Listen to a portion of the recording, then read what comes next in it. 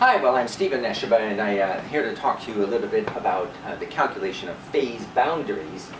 Phase boundaries are these lines that I've drawn on this phase diagram and um, the idea uh, here is that uh, if we could come up with an expression for the slope of any one of these phase boundaries, um, like say from here to here, that slope, then uh, I could uh, use calculus to integrate it to, to, to um, reproduce the rest of that curve, and same thing here and here. So uh, what we're interested here then, therefore, is the that slope, which would be the rise dp divided by the run dt. Okay, that's what we want to relate to each other. Now, we do have an equation that has dp and dt in it. Of course, it's the Gibbs uh, differential equation of state, and it looks like this. Now, I've labeled two phases, I and j. I could be um, a liquid, and j could be a vapor, for example. And uh, here's the idea. In going from here to here, since they, uh, the two phases were equilibrium in equilibrium here, and they were in equilibrium here, that means however much the Gibbs energy of the liquid changed, that's exactly the same amount that the Gibbs energy of the vapor changed, because they're still in equilibrium. So that means that is equal to that, so we can take this entire equation and subtract it from the first one.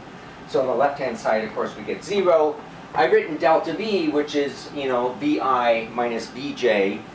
That's the, that's the, that's the volume change upon going uh, from, uh, in this case, from liquid to, uh, to gas, or it could have been uh, any of these other phase transitions.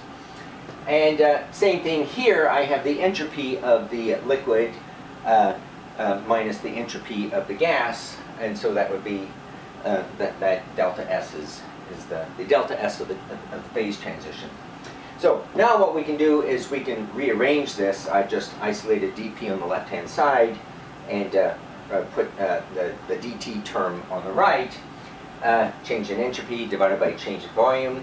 And uh, what we, we use what we know about the entropy, uh, namely the change in entropy at a given temperature is equal to Q rev over T.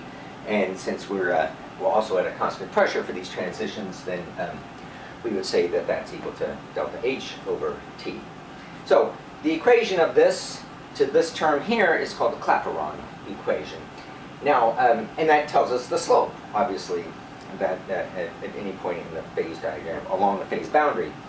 Um, in order to reproduce an algebraic expression for the entire curve, uh, we uh, will need to integrate, and before we integrate, we have to decide on how all these terms depend on the pressure and temperature.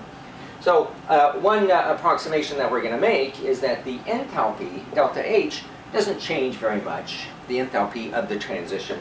Um, you know, we know that that's about 44 kilojoules per mole for water uh, at room temperature and 41 at, uh, at boiling, so that's maybe not such a bad approximation. On the other hand, uh, the change in volume might be substantial, especially if we're dealing with a gas. So let's just take on that one first. I imagine I'm going from liquid to gas, so we're talking about that part of the curve. Um, I've got the enthalpy of vaporization, which, you know, we could say, well, maybe that's around 44 kilojoules per mole. Um, that's its room temperature value. And uh, now, what are we going to do about the change in volume and going from a liquid to a gas? Well, you know, we know gases have about a thousand times the volume of their condensed phases at, at, at uh, ambient temperature and pressure. So I say that uh, that's, that minus that is about the same as the, the volume of the gas. Then we use the ideal gas law, and so we say that the volume uh, of the gas is equal to RT over P, and uh, so that term comes down here. You notice they have a pressure term here. We can do a separation of variables then, bring the pressure over this side, okay, and uh, we can integrate both sides separately. Uh, if you do that, the result of it is all called the Clausius-Clapeyron equation. Uh, what, would, what would we do if we were dealing with this sort of transition from solid to gas? Well, it's almost identically, uh, almost the same.